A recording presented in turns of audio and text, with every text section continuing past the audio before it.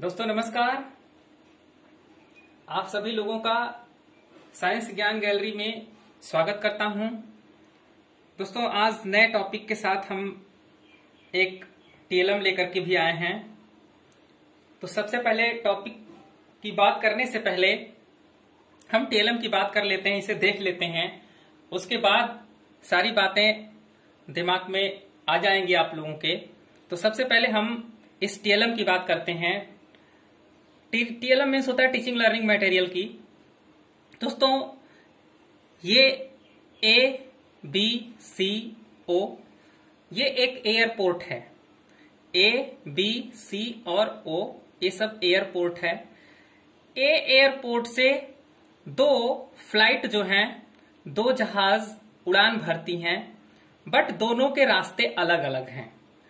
ए airport से दो उड़ानें भरने के बाद एक जो फ़र्स्ट फ़र्स्ट जो एयरपोर्ट फ़र्स्ट जो एयरक्राफ्ट है या फ़र्स्ट जो ये वाली आ, प्लेन है वो सबसे पहले बी स्टेशन पे या बी एयरपोर्ट पे पहुंचेगी उसके बाद बी से सी पर जाएगी। दूसरी जो है ए से निकलने के बाद ओ एयरपोर्ट पे और ओ एयरपोर्ट से सी एयरपोर्ट पे पहुँचने पहुंचेगी दूसरी प्लेन तो देखते हैं और इनके बीच की जो डिस्टेंस है 40 किलोमीटर ए से बी 40 किलोमीटर बी से सी 40 किलोमीटर हियर ए से ओ 25 और ओ टू सी 25 किलोमीटर देखते हैं, ये एयर बेस से चलने के बाद जो है बी पर पहुँचती है एरोप्लेन तो 40 किलोमीटर की दूरी तय करती है. नाउ अब आगे बढ़ने के बाद सी पर पहुँची 40 किलोमीटर की दूरी तय की। दूसरी एरोप्लेन ए से चलने के बाद ये ओ पे पहुँची 25 किलोमीटर और सी पर पहुँची 25 किलोमीटर। यानी 25 25 50 25 25 50 किलोमीटर का डिस्टेंस इसने तय किया। तो हम देखते हैं कि ये दोनों एरोप्लेन एक स्टेशन से चलने के बाद एक ही स्टेशन पे आ रही हैं, लेकिन दोनों में अंतर क्या है? दोनों में डिफरेंस क्या है? दोनों में डिफरेंस ये है दोस्तों कि ये यही एयर दोनों में अंतर यह है कि एक एरोप्लेन जो है 80 किलोमीटर की दूरी तय करती है, दूसरी 50 किलोमीटर की दूरी पहुँच तय करती है और सी पर पहुँच जाती है। तो जो 50 किलोमीटर की डिस्टेंस तय करती है, वो एक शार्टेस्ट डिस्टेंस है, यानी छोटा पैथ है, छोटे लंबाई का रास्ता है। जिससे ये सी पर पहुँच जाती है। तो हम ये कह सकते हैं दोस्तों कि जो displacement is the shortest distance displacement is the shortest distance between the initial position and the final position of the body अर्थात किसी समय में गतिमान वस्तु की अंतिम व प्रारंभिक स्थितियों के बीच की न्यूनतम दूरी, प्रारंभिक और अंतिम स्थितियों की न्यूनतम दूरी ये तो अधिकतम दूरी है। ये क्या है? न्यूनतम दूरी है। तो दो दो स्टेशनों के बीच की न्यूनतम दूरी क्या है? दो एयरपोर्ट के बीच की जो न्यूनतम दूरी है, वो डिस्प्लेसमेंट कहलाएगा। से हम क्या कहेंगे? डिस्प्लेसमेंट कहेंगे। नाउ डिस्टेंस क्या कहेगा distance is the length of the path travelled by a body while moving from an initial position to final. Distance क्या है कि ए से सी के बीच में जो पैथ की लंबाई इसने तय की, यदि ये 80 किलोमीटर की लंबाई तय की है तो इसका जो डिस्टेंस होगा वो 80 किलोमीटर होगा। डिस्टेंस क्या होगा? 80 किलोमीटर। तो ये जो, ये डिस्टेंस ये भी हो, है और डिस्टेंस ये भी है। ये एरोप्लेन 20 फिफ्टी किलोमीटर का रास्ता तय किया है तो इसका जो डिस्टेंस है 50 किलोमीटर हुआ। इसका जो पैथ है वो 80 किलोमीटर हुआ। इसलिए इसका डिस्टेंस एट्टी किलोमीटर तो distance is the length of the path travelled by a body while moving from an initial position to final position अर्थात किसी समय में गतिमान वस्तु द्वारा तय किए गए पथ की लंबाई को दूरी कहते हैं। पथ की लंबाई को क्या कहते हैं? दूरी कहते हैं, जबकि डिस्प्लेसमेंट क्या होता है दोस्तों? दो बिंदुओं के बीच दो स्थितियों के बीच या दो बिंदुओं के बीच शार्टेस्ट दूरी, कम से कम दूरी डिस्प्लेसमेंट कहलाता है।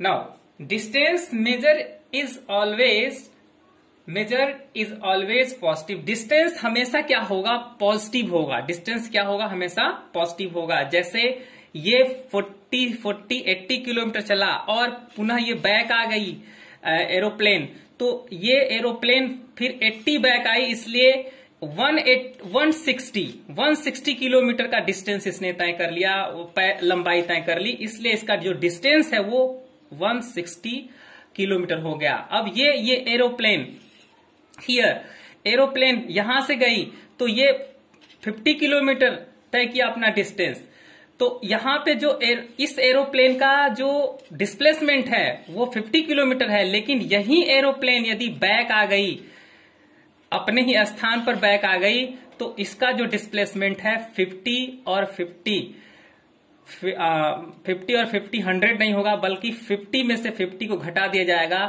क्योंकि displacement displacement one position one one point to another point देखा जाता है। एक बिंदु से दूसरे बिंदु के बीच देखा जाता है। और यहाँ पर क्या है कि ये जहाँ से चली थी, वहीं पे चली आई।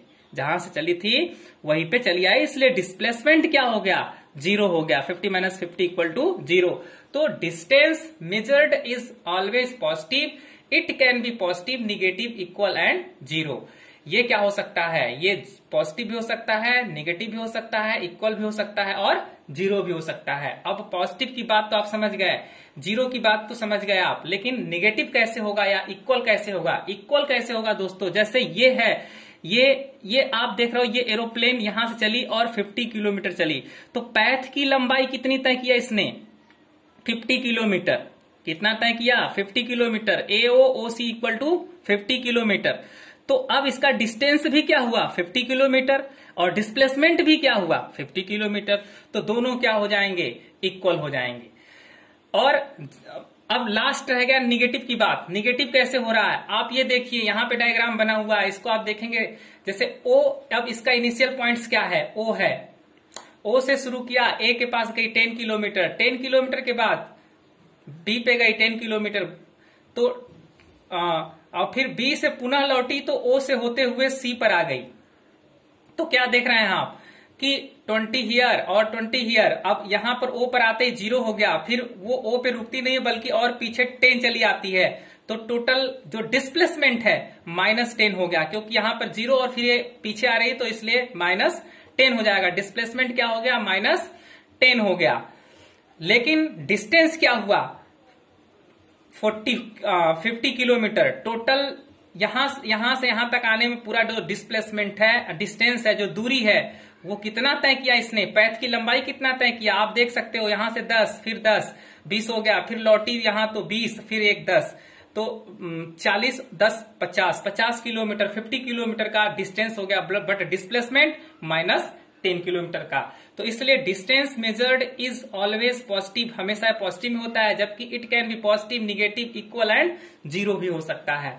It is a scalar quantity ये क्या है? एक स्केलर क्वांटिटी है यानी ये ये जो है एक अदिश राशि है। अदिश माने अ माने अनुपस्थित दिश माने दिशा जिसमें दिशा अनुपस्थित होती है। It is a scalar quantity vector quantity ये क्या है? एक वेक्टर क्वांटिटी ये सदिश है। जिस स माने सहित दिश माने दिशा जिसमें दिस, जो जिसमें दिशा उपस्थित होती है। Now distance greater than displacement distance greater than displacement distance हमेशा डिस्टेंस हमेशा क्या होता है? या तो बराबर होगा, या तो ग्रेटर देन होगा। किससे? डिस्प्लेसमेंट से। नाउ डिस्प्लेसमेंट हमेशा कम होगा, या बराबर होगा, या हमेशा कम होगा। किससे? डिस्टेंस से। ठीक है? हमेशा बराबर होगा, या कम होगा। कैसे? इसे भी आप समझ लीजिए। यदि यहाँ से चला यहाँ पे यहाँ पे गया तो डिस्टेंस और डिस्प्लेसमेंट दोनों क्या है? 50 50 बराबर हो गया। लेकिन ये यहाँ से बैक आ गया तो 50 बैक आ गया, यानी शून्य हो गया। लेकिन डिस्प्लेसमेंट क्या हुआ डिस्टेंस क्या हुआ? 50 50 100 हो गया 100 किलोमीटर हो गया। तो दोस्तों डिस्प्लेसमेंट हमेशा लेस देन होगा या इक्वल होगा किसके? डिस्टेंस के। थैंक यू दोस्तों। मुझे उम्मीद है कि आप लोगों को ये वीडियो ज़रूर समझ में आया होगा। यदि वीडियो समझ में आया है तो आप लाइक करें सब्सक्राइब करें और अन्य लोगों को शेयर भी करें ताकि और लोगों को इसका लाभ मिले। Thank you very very thank you